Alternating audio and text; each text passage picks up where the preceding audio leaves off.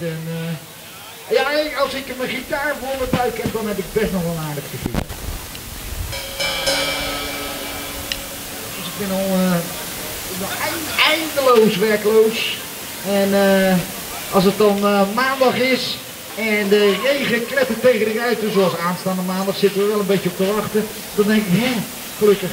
En als het dan, dankjewel, als het dan hartstikke mooi weer is op maandag, dan denk ik, ha, lekker,